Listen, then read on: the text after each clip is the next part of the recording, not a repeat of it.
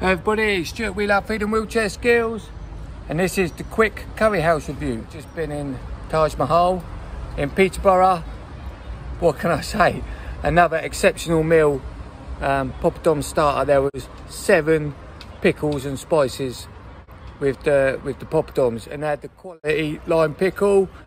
And I don't think I've ever been in a restaurant that's done seven spices and pickles and stuff with the poppadoms. And then um, the main, I had a chicken tikka starter.